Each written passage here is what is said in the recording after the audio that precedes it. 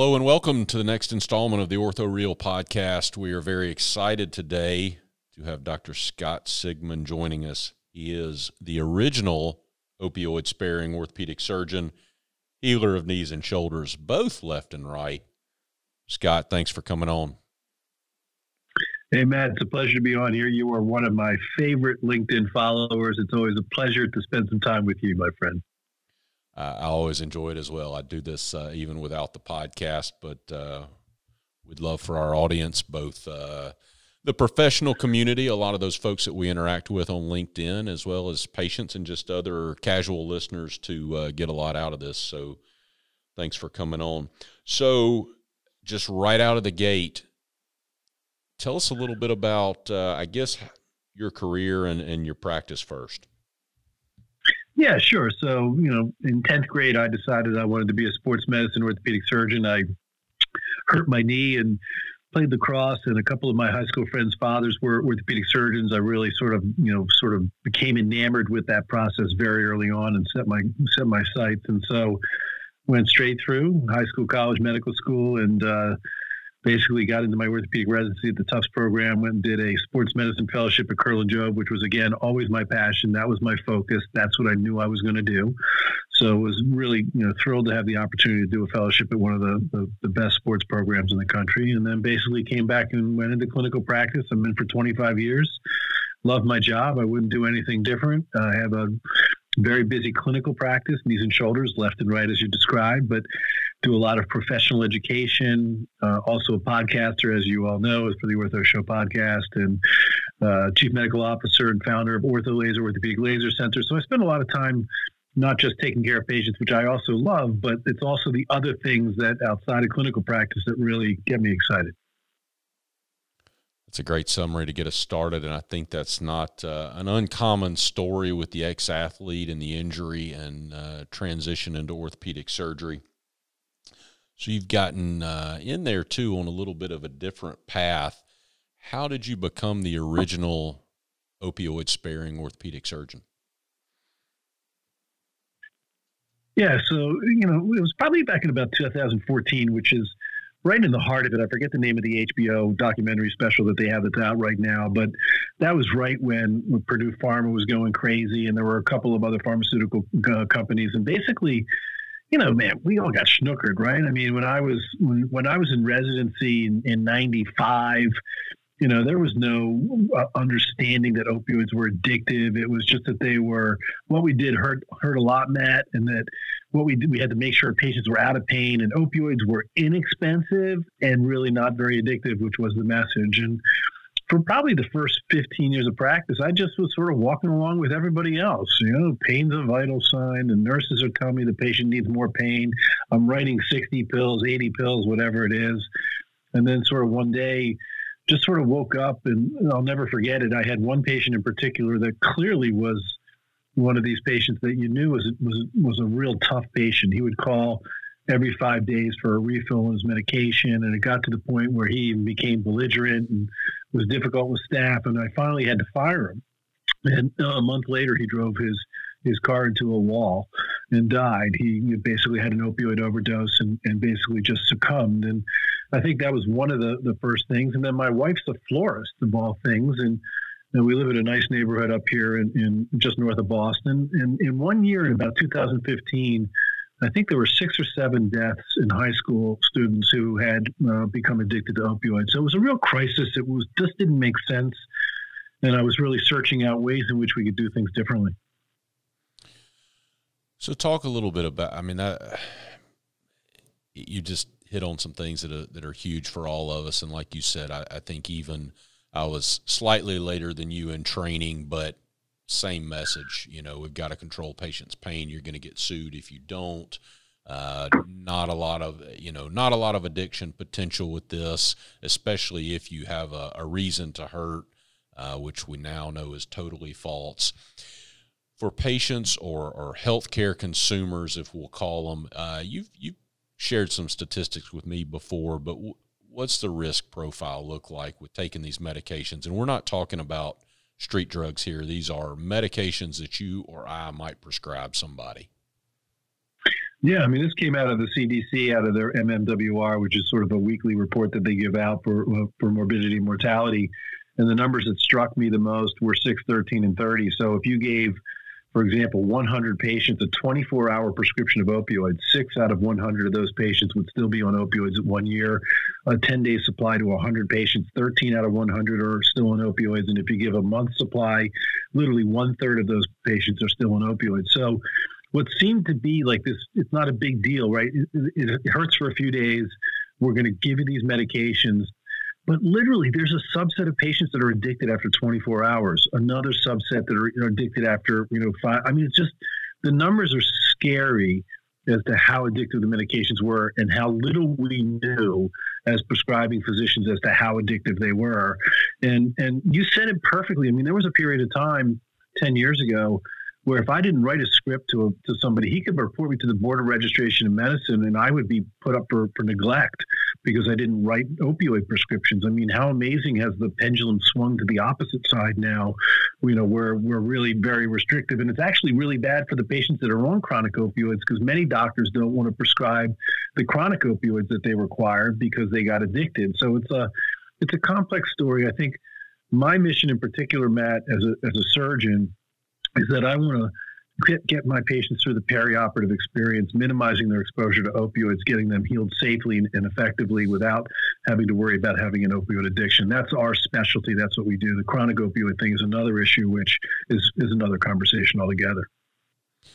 So I've got a strong interest in that as well, and, and kind of adapting what you do with a lot of sports medicine. And of course, uh, Andy Wickline's got some protocols based around this in the joint replacement space how do we do that? How do we get patients through with uh, with little or no opioid use from these big surgeries that we do?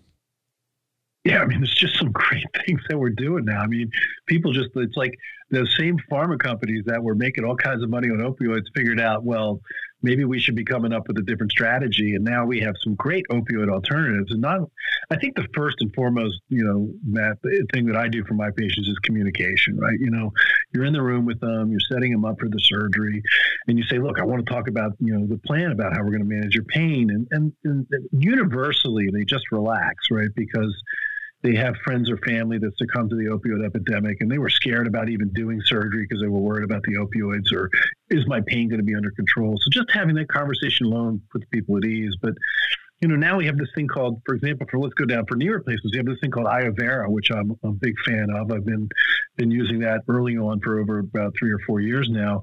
And we could freeze the nerves before surgery. You know we do this thing a week before there's no injections per se. It's not a medication. It doesn't it, it, doesn't require oral or IV. Basically, you just sit there under local anesthesia and you freeze the nerves. It takes about 30 minutes, and the nerves go to sleep for like 90 days, which really is awesome. It allows your patient to regain range of motion and movement without having all the pain. It doesn't involve the motor nerves right? So it doesn't affect the ability to walk or ambulate. So that's great. You know, then we're using some really cool new anesthetics everybody's familiar with anesthetics. You go to the dentist, they numb you up, and it feels okay for a little while, but then it wears off. And the problem with anesthetics has always been how long they last. But there's a couple new medications. There's Zynrelef that's out now, which is a which is a sort of a goo, if you will, uh, that gets placed onto the incision, which can provide three days worth of pain relief. There's liposomal bupivacaine, which is known as Exparel, where we can do regional blocks, and then we can also infiltrate the skin. And and I, you know, patients can have pain relief, and and really now, you know, it's not uncommon, right? We see these videos on LinkedIn from Vindasa, from yourself, and from other people where patients are walking at like five or six days without a limp, and they're not taking any any opioids. It's amazing how the, how there's been such a difference in the protocols. Yeah, the uh, the tide has definitely changed, and I, I think you touched on a key thing there too. Is that a lot of patients they're anxious about the medications, but also a lot are fearful about pain or that uh, we're not going to do something to treat that or oh, I know you guys don't give medicine like you used to. And of course, there's a very good reason for that. But um, we have to, like you said, communicate and get the message out that we're filling that void. Yeah, I mean, it, you know, it's, it's to the point now where you can literally look patients in the eye and say, "We're going to do these three, four, five things for you," in the perioperative period, and we're going to try and get you off this medication, not because we're just going to keep you in pain, because you're really not necessarily going to need it. And then, and then the great thing, you know, one of the things I admire about you in particular with your social media feed is that you're really allowing patients to be able to do the talking for us, right? It's one thing for a doctor to be able to say, this is what you're going to experience. It's another thing for patients to be able to witness and watch other patients who have gone through this and talk in their own words and describe the experience that they've had. That to me is gold. And that's really what we're trying to accomplish at this point. I mean, there's still, you know, there's still outliers out there. There are some some doctors that are still prescribing big time opioids and trying to avoid, you know, some of these opioid alternatives. But at the end of the day, the, the federal government and most of the commercial payers are now recognizing that these opioid alternatives are a little bit more expensive to use, but they really help to protect the patients. So there's a lot of uh, orthopedic surgeons in the country, a lot of really good orthopedic surgeons in the country, but clearly with opioid sparing surgery, with the strong interest in laser therapy, cold laser therapy, I should say and some of the other uh, educational ventures, you you've gotten off the beaten path a little bit. How does how does that happen? How were you just always that hyperkinetic kid that had his desk pushed up by the teacher because he, he, was going to be causing trouble? Uh, and so this is just what that looks like for you professionally, or, or did something happen and, and you started going a different route? You know, I think it's funny. I mean, when you when you stick your neck out, you know, and you're trying to be innovative in whatever that is, right? Whether it's branding, marketing, or a new device, you know, more often than not, when you're really early on in, you're going to get a bunch of rotten tomatoes thrown at you, right? I mean, it's like, who are you? What are you talking about? This is new and different, and you know, we didn't get taught this, and why are we going to do this? But at the end of the day, if you if you stick to your guns and you're passionate about it, and then you wind up, you know, seeing some results then what happens is you're the it grows. And I mean, I used to give these opioid sparing talks, Matt, and there'd be like three people in the room. It'd be like, you know, what are you talking about? This is not even an issue. Why do we have to talk about it? But then, as as the crisis got worse, uh, the room started to fill up, and people started to recognize that this was something to do. And then from there, you sort of get known. You know, your brand, your professional brand. If you say you're opioid sparing, so people approach me all the time with new and innovative techniques and ideas for uh, an, an, opioid alternative approach, and that's how the laser came came about. And Ryan Mooney, who's now my partner in OrthoLazer, knocked on my door, and oh, like a lot of the things that we do, right, Matt, you can either learn stuff from from you know your own experience. You can learn stuff by going to professional education courses that you know we're continuing med- medical education, and then a lot of times you can also learn from your colleagues which again you do really well on linkedin which i love watching is you know trying to develop consensus on difficult cases. And we do that routinely. We respect we find surgeons and people that we respect and then we value their opinions. And one of uh, one of the colleagues that I did, Mark uh, Pietropoli, was using laser. He had trained with Kevin Wilk at uh, the Andrews Clinic downtown, down down in your, your neck of the woods, sure. down in Alabama. And so Kevin Wilk is probably the world's most famous physical therapist, was using laser routinely for, for over a decade, getting great results. And so Mark took that with him and then was able to find this robotic laser. And then that's how I got involved. And then from there, I recognized, you know, sort of this perfect storm that laser could be this great opioid alternative option for the treatment of patients. And then can we get that out to mainstream and then talk about rotten tomatoes? That's when it was really ugly uh, you know, as far as even even my partners within my practice and and the the gumption to try something new and different. It was it was a struggle. So you've talked, you've got several, let's call them alternative treatments there, in terms of things that would have been different from the mainstream. Certainly laser therapy, but you know, iovera, Exparel, all these things that were not around 15, 20 years ago, or however long it's been. How how does the public, how does the healthcare consumer figure this out, and and how do we help them figure that out when you know with the internet we've got the wild wild west of everything from essential oils to stem cells to magnets to whatever.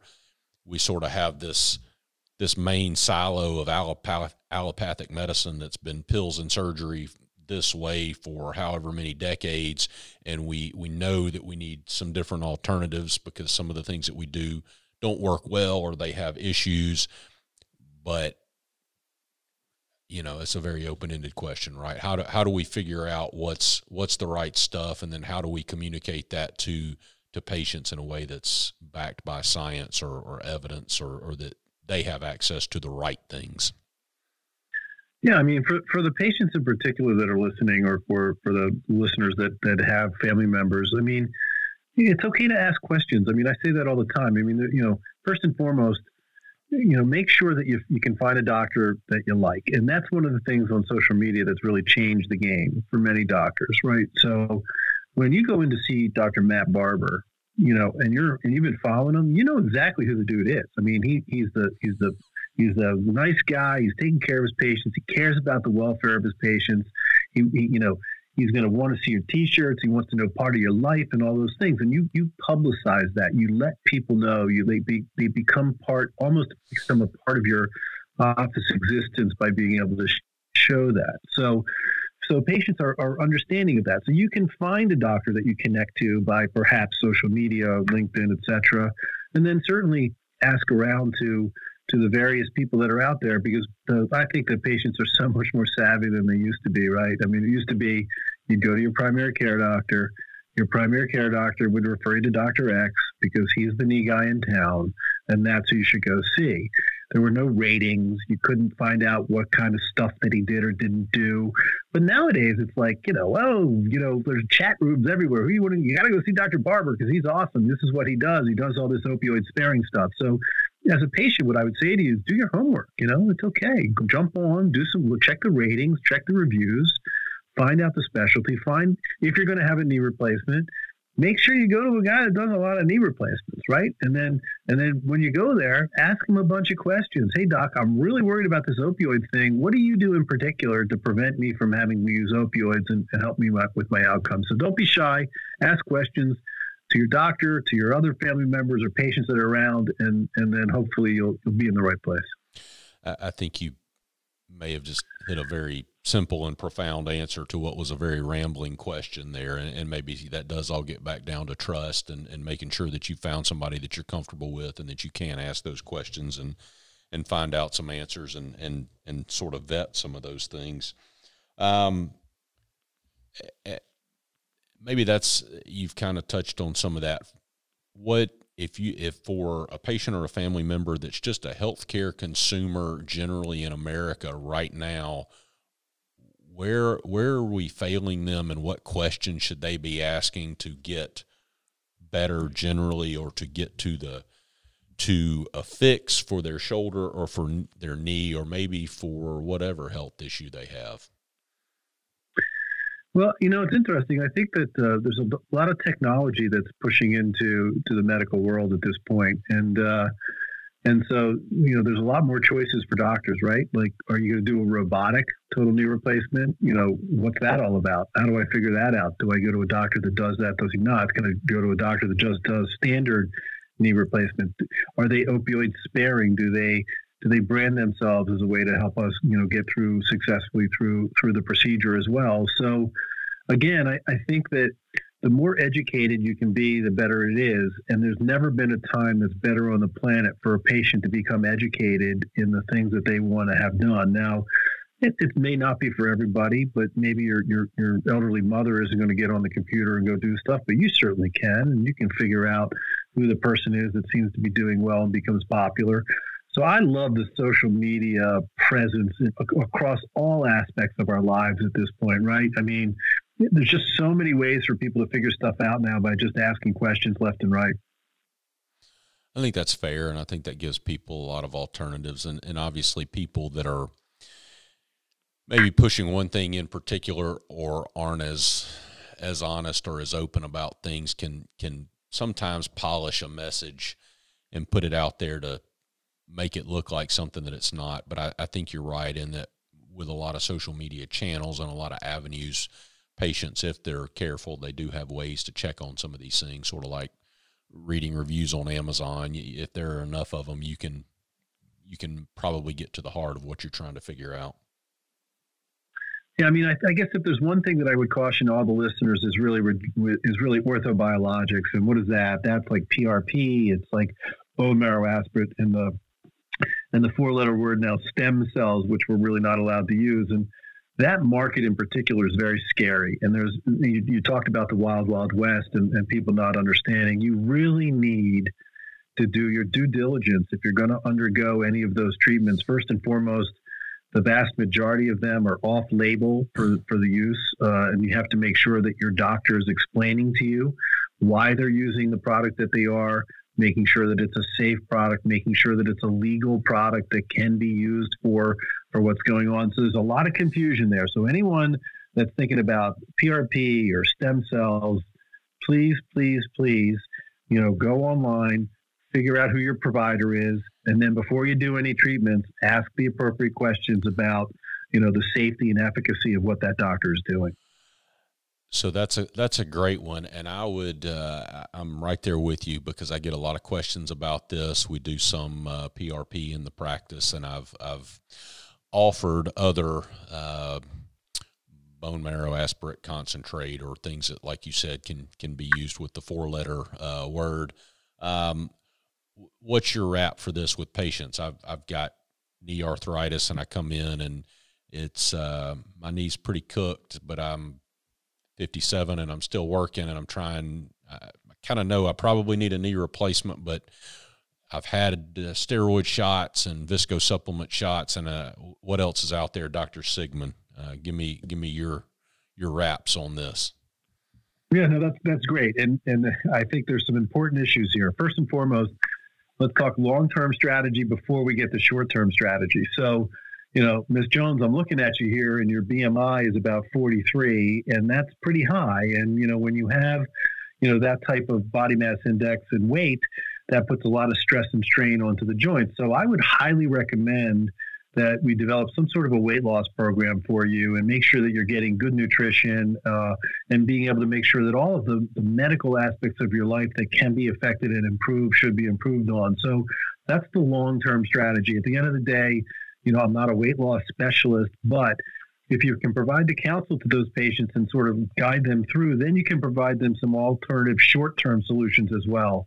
And then I go through my spiel. And so, you know, the first thing I say, well, you know, Miss Jones, today we can give you a standard cortisone shot. And I'm like, that's pretty much for like cruises and weddings. You know, it will get you good for a period of time. Can't tell you how long, but it should get you back from the cruise okay. And and then I say, well, there's some other things that are covered by the insurance. For example, there's a new long-acting cortisone shot called Zilretta, which can provide, you know, three to four months worth of pain relief fairly reliably. It's paid for by the insurance company, FDA approved. We got these gel shot things that we do, and, and for us in Massachusetts, unfortunately, Ms. Jones, that's not covered by insurance. Um, it's fallen away, but we offer that to you, and for about 400 bucks, we should be able to do some treatments to be able to help you for that. And then, you know, from there, there's a couple of other things that you can also pay out of pocket for. For example, the PRP, where we drag blood from your arm. We spin it down, they have growth factors, and we insert those into the knee joint. It's not going to repair your cartilage, but it will help with your pain and inflammation. We're big fans about trying to minimize costs for our patients. Uh, we're mostly a blue collar neighborhood, so we charge about 500 bucks per treatment for that. We typically recommend three treatments because that's what the doctors have shown over time. Then there's this bone marrow aspirate thing, which I don't do, but I can refer you on to somebody if you'd like. It's usually about five thousand uh, dollars. And then we've also got my laser, which also is now uh, exciting because it's on the American Academy of Orthopedic Surgery's approved guidelines for treatment.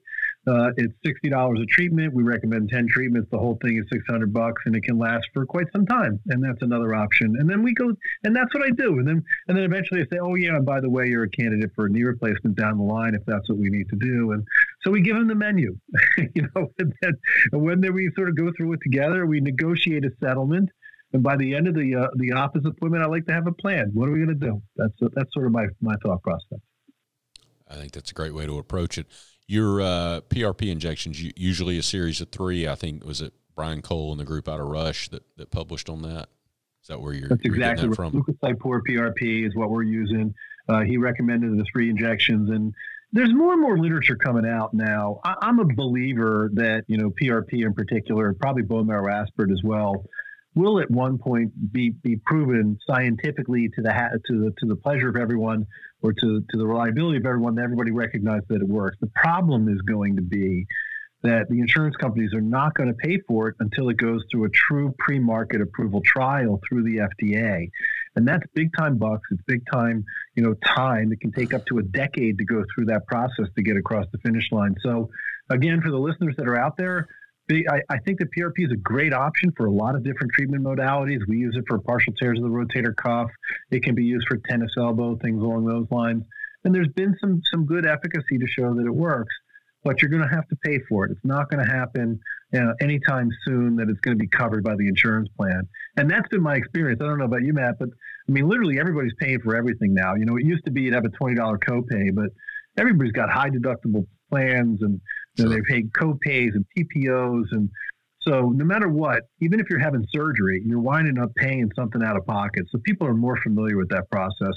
So having alternative options, I think, is a good thing for the patient.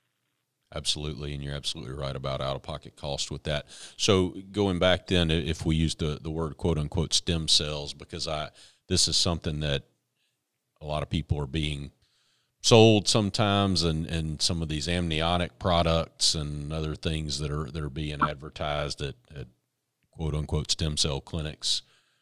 What do you tell folks? So there's not a single legal product in the United States of America that is a stem cell that is uh, that is approved for use in the orthopedic condition. Period. So anybody that you're going to that has a website that shows the fact that they're using stem cells and have patient testimonials on stem cells, there is no legal indication for the use of stem cells in orthopedics. And that's a tough nut to, to swallow for a lot of people because I can tell you a lot of doctors didn't even recognize that or know that the terminology. The FDA just came out with a public, uh, a, a consumer public announcement warning consumers about the fact that this is the case and that they were going to then start policing, you know, doctors' websites and going to come around and start knocking on doors. So I would tell you, uh, stay away from the word stem cell. But I think all, that's also the case actually for uh, for amniotic tissue as well. There is legal, you know, uh, legal precedence to the, for the use of PRP, BMAC, and certain adipose-derived tissues that have cells in them that can be used to treat patients that have pain and inflammation. But their actual indication, for example, PRP, the indication, the FDA indication for, for, for PRP is to augment bone marrow bone marrow aspirate. That's it. It's to make bone marrow potentially stronger when you're doing a, a you know, a, um, a, fracture. The same thing for bone marrow aspirate concentrate. It's not indicated for the use of, of osteoarthritis of the knee, but because it has a legal precedence to be used in some other area by an FDA product, it can then be used for other indications as long as the doctor carefully describes to his patient the reason why he's using this in an off label fashion. I think that's a very important uh, caveat. So you've touched uh, a good bit on laser therapy and a little bit about how you got interested for, you know, and, and I know exciting, you've got uh, recognition by the uh, academy at this point that that's a viable treatment for knee arthritis. For people that, that this explain this process to them you're going to shoot a laser at my joint at my knee at my hand. How, how does this work? So before we get to that i want to talk if you don't mind i want to touch on the american academy real quick I because i think that's all. a big Go issue. so because I want I want a rising tide for all boats because you know it wasn't just laser. So the American Academy of Orthopedic Surgery has not really done a very good job in providing guidelines for orthopedic surgeons to be able to provide treatment options for osteoarthritis of the knee. They barely even recognized that a cortisone shot was an option. They basically did not like visco supplementation, and they basically gave it a very low rating. And there just wasn't a lot of guidance. So for the first time in eight years, and, they and got to together clarify, and made new I mean, guidelines. cortisone injections for 50 years, 75, I mean, forever. And visco supplement or, or, gel gel shots or rooster comb shots, as they're called a lot of times down here in the South, uh, 20 years, 25. I mean, everyday practice in every orthopedic surgery office in the country. But yet, the American Academy of Orthopedic Surgeon wasn't providing any guidelines on that, which is crazy. I mean, it's our society, right? I mean, they're supposed to be able to help us you know, make make clinical decisions. So for the first time in eight years, they made new guidelines. And so things like laser, for example, came on the list, as did acupuncture, uh, as did specific orthotics for the shoes, as did braces. And these are all things that we've been right. doing forever. But they finally looked at the literature and showed that there were some things that were having literature support. Some had, a, you know, sort of a, a lower approval rating. Others had more of a moderate. But at the end of the day, they gave a description for these things. So it's really, it's kudos to the AAOS and their, their, their committee for taking the time and energy to put this thing together. So uh, we were obviously very pleased for laser, but I think there were a lot of people across industry that were really happy to know that that those sorts of changes had been made. So, so you know, yeah, what, so lasers are funny, right? I mean, the funny thing about lasers is that for most people, lasers are sort of part of medicine now, right? It's become a thing. It's like you can get your eyes done, you can get the tattoo removed, you can you can have certain surgical interventions that are done. So it's become, you know, it's become sort of a common theme. But the problem is, is that doctors in particular, especially within the orthopedic community, had no idea because it wasn't taught in medical school. There's no curriculum on this. But the first thing I always ask, you know, and I'll ask you the same question. I'm like, all right, Dr. Barber, do you believe in photosynthesis? Yes. Okay, I've had nobody say no yet when I asked that question. So why is that? Why is that funny, or why is that important? Well, because we're on a planet that has a sun. The light comes down. Your grass grows. The leaves grow, and you know we, we turn we turn carbon dioxide into oxygen. So there we have plants and species on the planet that react to sun all the time. So the second question I ask is, Dr. Barber, do you believe in the conversion of uh, sunlight needed to be able to convert vitamin D to an active metabolite in the body? I feel like the answer is yes. I do. Yeah, you definitely. That's the correct answer. This is not a multiple choice question. I, I, remember something about vitamin D and uh, bone metabolism. There you go. It's harkening back to our medical school days. But again, for the listeners that may or may not know, you have to be out in the sun to be able to have vitamin D work. Uh, it has to be converted by the sunlight. So then the next question I asked everybody, you know, it shouldn't come as a, as a big surprise that a species living on a planet with a sun, that in our deepest genetic code that we would be sensitive to light. And that's the case. Uh, the mitochondria, which is the powerhouse of the cell, generates ATP, which is the energy of the cell. And if you get the right wavelength and you get it to the right level with the right amount of energy, the cells become excited and then there's increased blood flow and they start moving a little faster and fibroblasts which are healing cells come in so a lot of stuff happens I'm sorry I cut you off there but so so to be clear those those changes in the cell that we can prove that right Absolutely, we can prove that under absolute straightforward biology. You can take a cell, stick it under the right laser, measure the amount of ATP, and it goes up. You can scratch a, a a petri dish with a bunch of fibroblasts on it. And if you put it under laser, the fibroblasts grow back together much faster than the one that doesn't. You can increase the temperature by a couple of degrees. You can increase blood flow. All of those things are measurable things. Uh, and then there's all kinds of little molecules that run around too. You know, in the setting of the pandemic, we all know about this cytokine storm, right? That was a very popular saying. And what are cytokines? Well, there are these proteins that can mediate inflammation. So there are ones that make inflammation and there's some that take it away. And believe it or not, the laser very specifically generates these cytokines that make inflammation go away, which uh, which is why it works for inflammatory conditions such as arthritis or tendonitis, these types of things. And so, clinically, you basically, if you get the right wavelengths, we have a robotic laser mat. Patients sit under it. Uh, basically, it does not generate any significant heat energy. It doesn't cut anybody, doesn't burn anybody. You lay there for about eight to 10 minutes, and then you get up and you walk out. Uh, and it's multiple treatments that are required. Six uh, for for sort of an acute injury. Uh, we use it for all kinds of you know athletic injuries, and then ten for more of the chronic inflammatory conditions such as arthritis or neck pain, back pain, etc in our most recent studies, where we're, we're really very carefully assessing our, our visual analog scores for our patients as they're done, you know, with treatment, we're upwards of 85 to 90% uh, efficacy treating our patients. Where 85 to 90% of our patients are seeing significant pain relief with this laser that doesn't require needles. It doesn't require medication. So it's become, it's become very popular. It's become very sort of a, the, the growth in associated, especially in the setting of an opioid epidemic, of having this alternative treatment option has been very attractive for patients. and now very attractive for doctors who want to be a part of something that's new and different and be able to offer that for their patients as well. Excellent synopsis of that.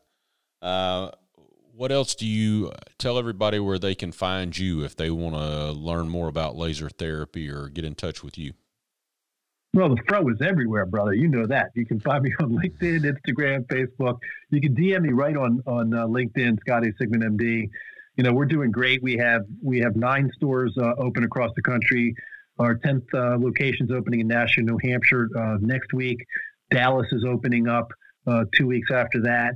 Uh, and then we're, we're really on a tear here. We've got about 25 uh, centers at this point that are, are in the process of being developed. So, you know, we're looking to partner with uh, like-minded orthopedic surgeons as well as other pain specialists and other doctors that, that recognize that they're sort of looking for alternative treatment options. And one of the other things that we've really done well with is for our medical device listeners that are out there as well.